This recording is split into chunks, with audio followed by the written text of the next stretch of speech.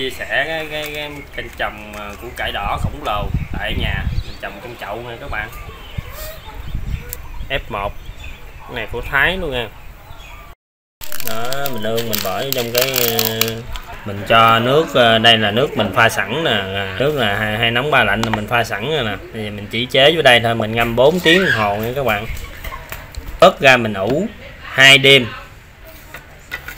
đây mình ủ hai đêm nha trước mình có chia sẻ là mình sẽ ủ cái khăn là mình đã hai đêm nó sẽ nứt mầm ra như vậy rồi mình mới đem ra cái khay xốp nhỏ mình phải đó sơ dừa mình đã xử lý rồi ha.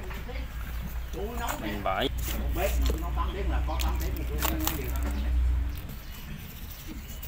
này là mình uh, phải mua đem về mình phải xử lý nha nếu mà mình không không có biết xử lý thì mình mua cái sơ dừa người ta nói ra là nói là sơ dừa ôm cây là người ta sẽ bán cho mình. Nó ra mầm, nó rất là lẹ. Mình sẽ, nếu mà nấu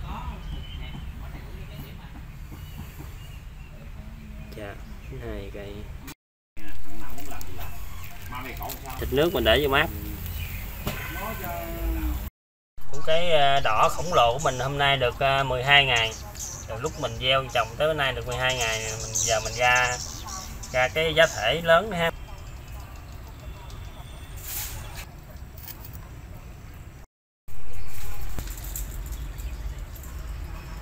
Cái này mình chọn ờ, phân ờ, trùng quế với ba cái cho cháu sống với lại sơ dừa. Một một cây vô trong một chậu ha, đặng cho nó có cái củ bự còn như nếu mà mình muốn trồng, đây là mình trồng thử nè, trồng hai cây mai mốt cho nó có có một củ hoặc là hai củ trong những chậu này nè. Hoặc có hai.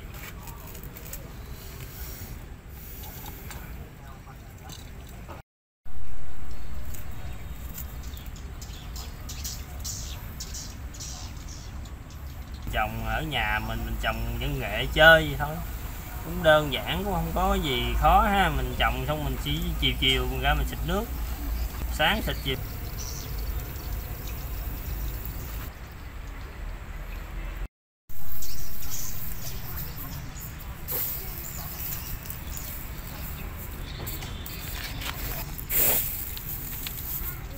Giữ ẩm cái cây mai mốt nó mục xuống cũng thành phân luôn. Cái này là vỏ chấu uh, sống nha các bạn.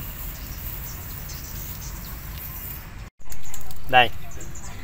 Cái cây ờ, củ cải đỏ mình là nó, nó, nó khi mình nó tạo củ là nó sẽ nứt ra như vậy nè. Thấy không? Nó bén rễ là là nó nứt ra nó nứt ra đặng nó phì củ đó.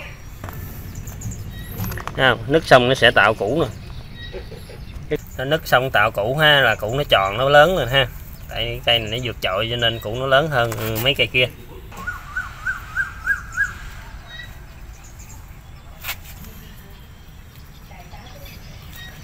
Cái này mình trồng mà thử hai hai hai, hai cây vô một chậu luôn. Cây này cũng hai cây vô một chậu nè. Gốc mình có vàng đó là à, mình ngắt nó bỏ. Nè như vậy lá già mình bỏ bỏ đi cho nó nuôi củ hôm nay cải của mình bị lớn nè đó mình à, lá già là mình phải tiện bớt nha. Củ cải đỏ à, khổng lồ của mình đó mà nhưng mà ở trên à, mạng mình coi mình thấy à, nó trồng củ nào cũng thấy nó tròn nó bự ghê luôn mà mà mình trồng ở trong cái chậu này nó gì nè. Cái này là mình trồng cái à, hai hai cây vô một chậu này ha còn đây là một cây vô một chậu rồi nó cũng ú giống gì nè. Nhưng mà nó không có được tròn giống như mình coi trên trên mạng thôi. À, shopee đó mình thấy cái, cái trái cái củ nó tròn. Nhưng mà mình để đó trong chậu mình luôn gì nè rồi trồng dưới đất thì mình không biết làm sao nha.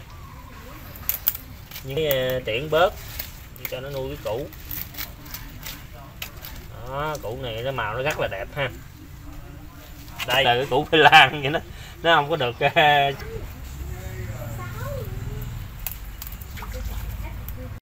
có một có hai nè. Có hai nè như cây này là có hai nè ha. Cái này là một hai củ hai củ nó rất đỏ đẹp luôn. Mình à, cái cái đỏ khổng lồ mình là thu hoạch nè. Nay này mình trồng tại bị gì à, mình đi không gài nữa, mà bởi cho nên nó xuống màu, xấu nè.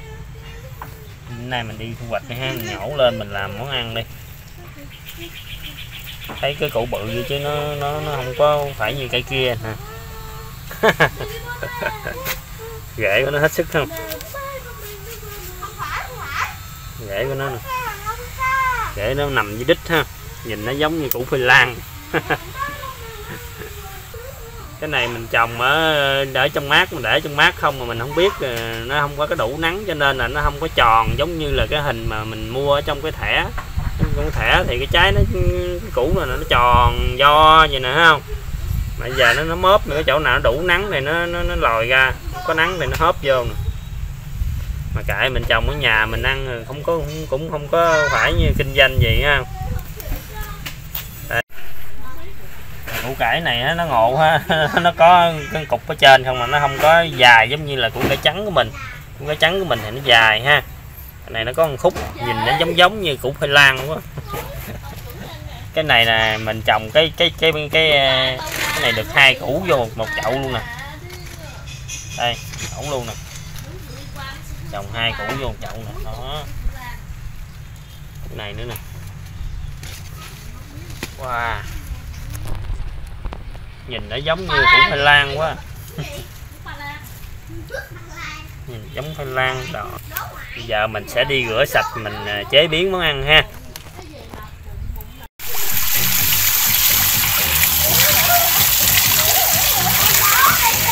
Này, mình cắt nó gai trang như củ cải trắng vậy đó ha.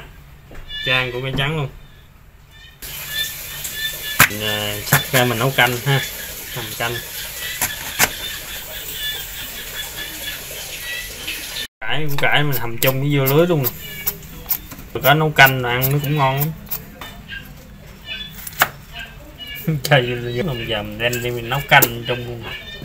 À, dưa lưới à, còn non nè đem đi hầm canh ăn nó ngọt lắm.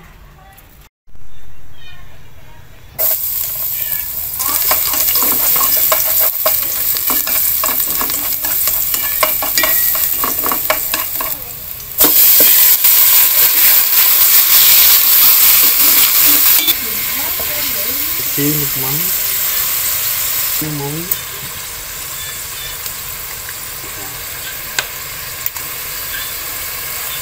Rồi lít nước luôn.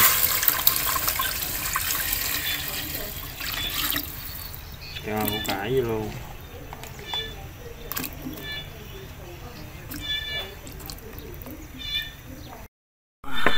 nóng quá cho vô miếng ngò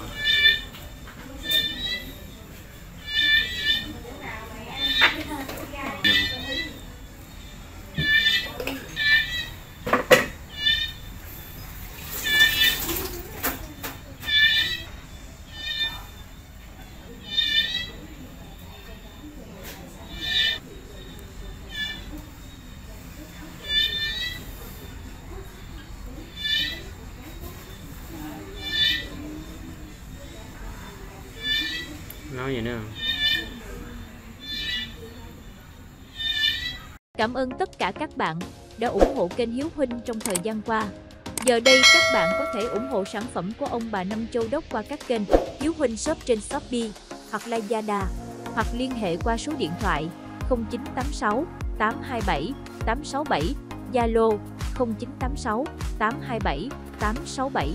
Tất cả sản phẩm trên Hiếu Huynh Shop là các món đặc sản của Châu Đốc, mang đậm phong cách ẩm thực của người miền Tây.